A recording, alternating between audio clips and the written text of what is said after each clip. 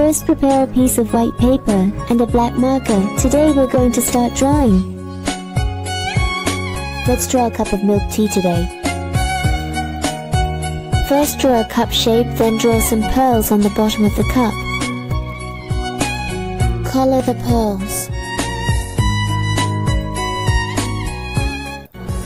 Draw more, Jane. Above the beads, draw another milk tea lid. Draw a straw.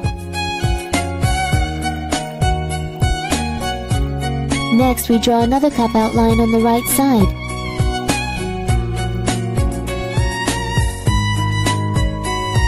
Draw the ice cream on top.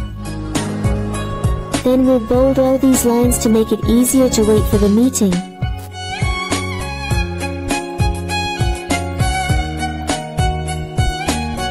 Prepare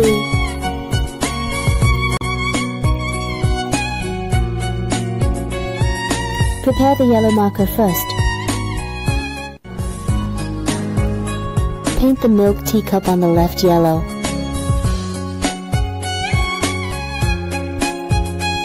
Paint the colors with vertical lines. Man. White. We'll start by painting the edges of the sub-purple. Paint the lid pot blue again. and then the straw to color it pink. The right side of the ice cream milk tea. We first draw a straight line on the bottom of the cup.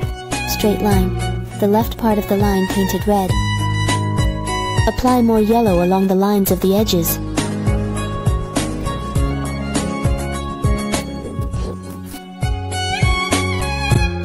Paint the rightmost part green. Paint the bottom part, orange paint the top ice cream, a lighter pink color. This is a very tasty and delicious milk tea.